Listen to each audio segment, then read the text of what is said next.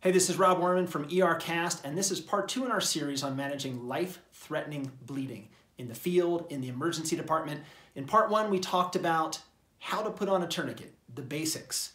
This is how to pack a gunshot wound or a shrapnel wound, anything that's you know going to be hard to manage with a tourniquet. For example, a gunshot wound to the groin. These are very scary, can be very hard to control. You might stick your finger in there, but then what do you do?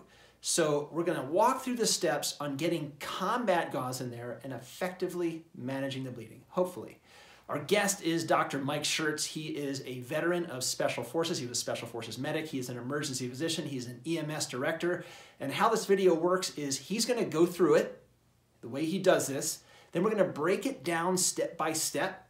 And then after that, I'm gonna do it. And trust me, he makes it look so easy. It's actually not that complex. Takes a little bit of practice, but I tell you, man, he's obviously done it a lot of times. This is the first time I had done it and, you know, kind of fumbling over it, but I want to show you that so that you can learn some of the nuance of this as he's correcting my technique. So here we go, how to pack a gunshot wound. How you pack wounds is step one, you stick your finger in there and figure out where it's bleeding from, because if not, you don't really know if you're packing like some blind channel.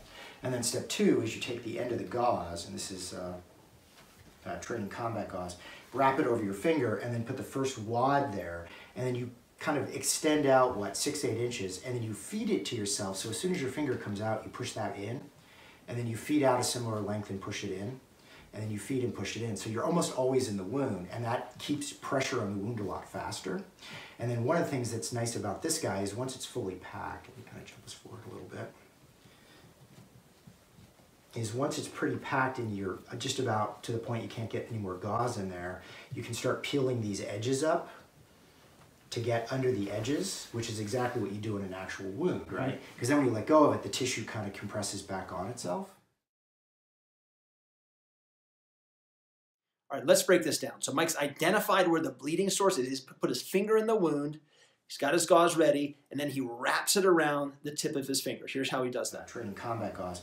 Wrap it over your finger, and then put the first wad there.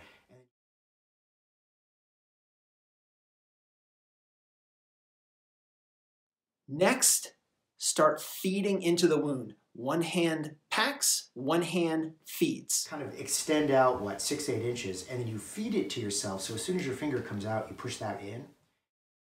Similar length and push it in.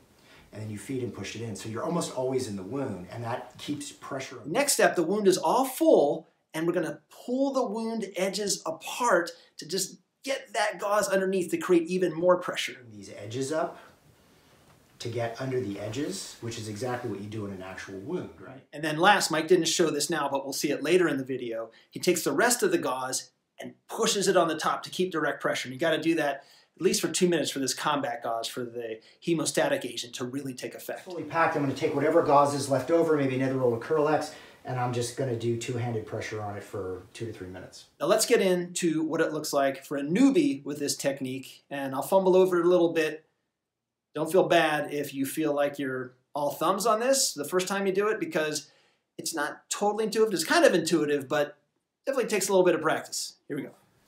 All right, I, have never packed a femoral artery or gunshot wound like that.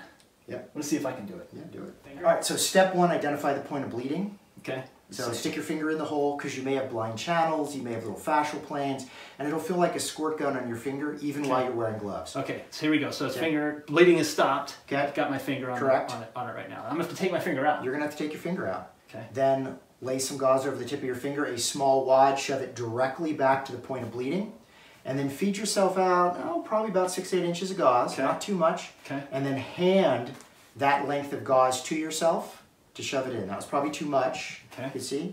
So you probably want to take this amount and then hand it to this finger. And it's like a sewing machine. That finger pushes it right back in the hole. And the goal in wound packing is no matter how much gauze you get in the wound, if you really push harder, you'll get more gauze in there. And you just keep packing. At some point when the wound belly, the cavity's pretty full, uh, you can usually get more gauze in there if you start to spread the edges of the wound apart a little bit, deform the wound a little get more gauze in there, and then as the Okay, it's tight. That's that's tight. Okay. That's tight. So then Okay. see if we can kind of expand the wound a little bit to get more under those edges. I realize as I'm doing this that when I've done this in the past, I've released pressure for at least a second or two at a time as Yeah. I've as I've gone back because what is what it's been is take this and I have I have not made a made a missile with my finger Correct. in here. It's just been here loose end, Yep. shove in, come out, shove in like this, come out. Not this where I'm feeding to myself, Correct. coming out briefly. Oh, I like that technique. Yeah, exactly. And then the key, if you're using this kind of gauze, this is a training gauze of what's called combat gauze, which is a, uh, uh, kaolin impregnated gauze.